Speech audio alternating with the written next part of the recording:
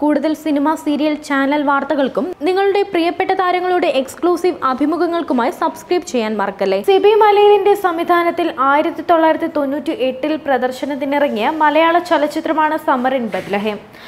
കോക്കേഴ്സ് ഫിലിംസിന്റെ ബാനറിൽ സിയാദ് കോക്കർ നിർമ്മിച്ച ചിത്രത്തിന്റെ കഥ വേണു നാഗവള്ളിയുടേതാണ്. തിരക്കഥ സംഭാഷണം എന്നിവ നിർവഹിച്ചത് രഞ്ജിത്താണ്. വൻ താരനിരയാണ് ചിത്രത്തിൽ അണിനിരന്നത്. സുരേഷ് ഗോപി ജയറാം മോഹൻലാൽ മഞ്ജു വാര്യർ എന്നിവർ പ്രധാന വേഷങ്ങളിൽ അഭിനയിച്ച ചിത്രത്തിൽ മഞ്ജുവിനെ കൂടാതെ നാലു നായികമാരും ഒട്ടേറെ ബാലതാരങ്ങളും എത്തിയിരുന്നു. ചിത്രമിറങ്ങി ഇരുപത് വർഷം പിന്നിടുമ്പോൾ ഈ നായികമാരുടെ ജീവിതം മാറിമറിഞ്ഞു.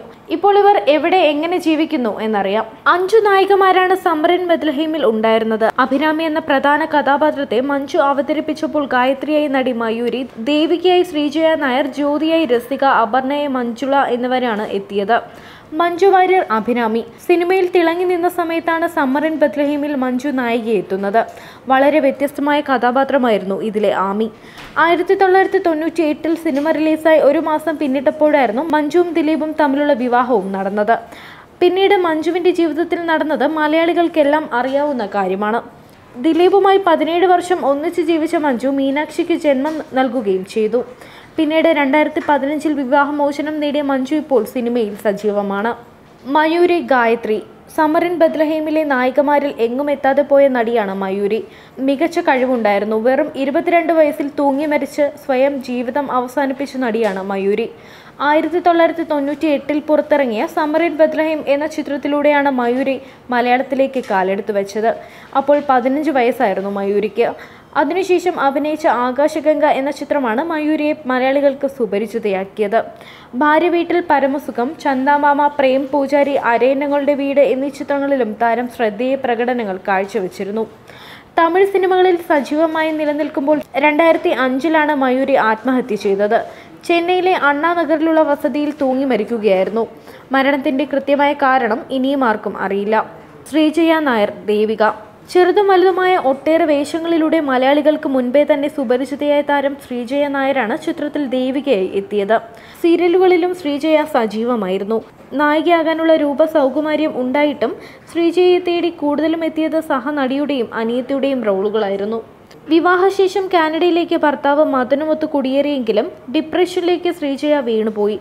എങ്കിലും ഇടയ്ക്ക് സിനിമകളിൽ ശ്രീജയ മുഖം കാട്ടിയിരുന്നു.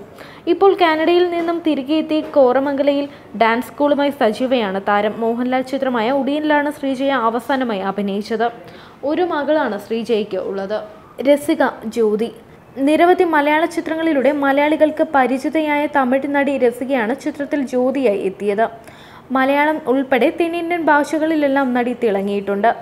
ഇപ്പോൾ രസികയുടെ പേര് സംഗീത കൃഷ് എന്നാണ്.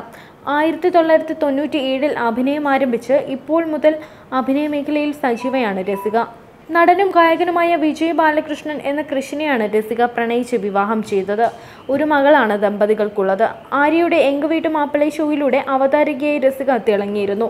ഭർത്താവും മകളുമൊത്ത് സന്തോഷ ജീവിതം ഇപ്പോൾ നയിക്കുകയാണെങ്കിലും വിവാഹത്തിന് മുൻപ് സ്വന്തം വീട്ടുകാർ തന്നെ കറവ പശുവായി കണക്കാക്കിയെന്ന് രസിക തുറന്നു പറഞ്ഞത് ഏറെ ചർച്ചകൾക്ക് വഴിവെച്ചിരുന്നു. മഞ്ജുള അപർണ. അപർണ എന്ന കഥാപാത്രമായി ചിത്രത്തിലെത്തിയത് തെലുങ്കു നടി മഞ്ജുളയാണ്. തെലുങ്ക് നടനും നിർമ്മാതാവും സംവിധായകനുമൊക്കെയായി കൃഷ്ണ ഘട്ടമനേനിയുടെ മകളും തെലുങ്ക് സൂപ്പർ താരം മഹേഷ് ബാബുവിന്റെ സഹോദരിയുമാണ് മഞ്ജുള. മഞ്ജുളയുടെ ആദ്യ ചിത്രം കൂടിയായിരുന്നു സമറിൻ ബദ്ലഹേം. പിന്നീട് വിരലിലെണ്ണാവുന്ന തെലുങ്ക് ചിത്രത്തിൽ കൂടി മഞ്ജുള അഭിനയിച്ചു. നടനും നിർമ്മാതാവുമായ സ്വരൂപ് സഞ്ജയാണ് അപർണയുടെ ഭർത്താവ്. അഭിനയിക്കുന്നില്ലെങ്കിലും സംവിധാനവും നിർമ്മാണവും ഒക്കെ സജീവമാണ് മഞ്ജുളയും. ഒരു മകളാണ് ദമ്പതികൾക്കുള്ളത്. Entertainment Sini life